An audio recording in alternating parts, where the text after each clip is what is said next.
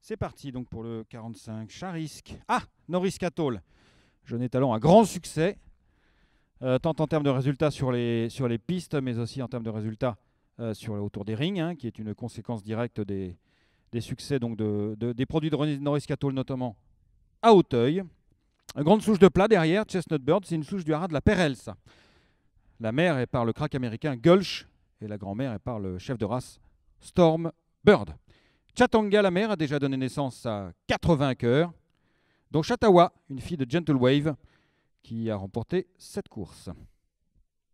Euh, en référence d'obstacle, on va trouver sous la troisième mère Celtics, que vous connaissez tous, gagnant du prix Rosanno Listed. Le 45.